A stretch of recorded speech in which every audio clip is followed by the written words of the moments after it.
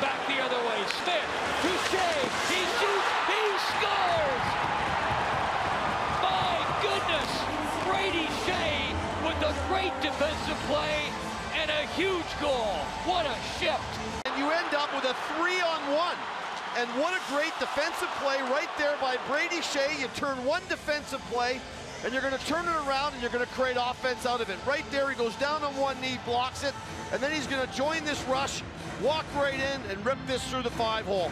This young kid's had one heck of a playoff so far. That's his fourth goal, and it may be the backbreaker in the third period for the Ottawa Senators.